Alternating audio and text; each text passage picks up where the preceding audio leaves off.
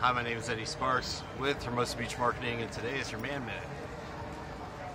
And since there's a lot of people here, I'm just going to make it quick. Today is about how you handle yourself. You need to handle it now.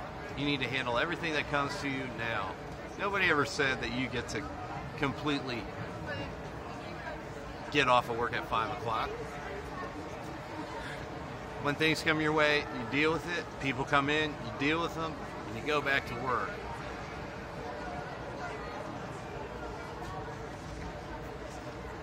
That's what it takes to be a man.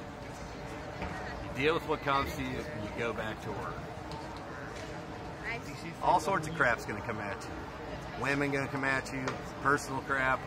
You want to go to a baseball game. All sorts of stuff's going to come after you. But that doesn't mean anything. You're just going to have to say, hey, I'll be here at 8 p.m. after dinner. I'll get it done. Or I'll do it from home. Or I'll do it tomorrow. Because your desk and your pile is your pile. And that's your own hustle. And that's your future. But you need to handle stuff very quickly.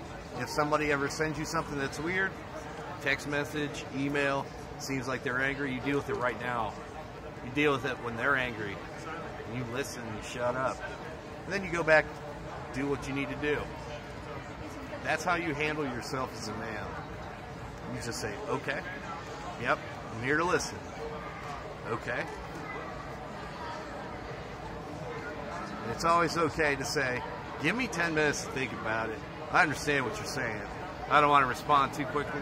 I don't think it's an emergency. Give me a few minutes or a day to think about what you're talking about. And we'll be okay. We'll be okay.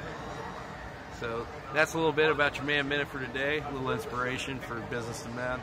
Get your shit together. I don't know. This is some some pirate ship, galleon. They pulled up intact. Kind of cool. This is your Man Minute.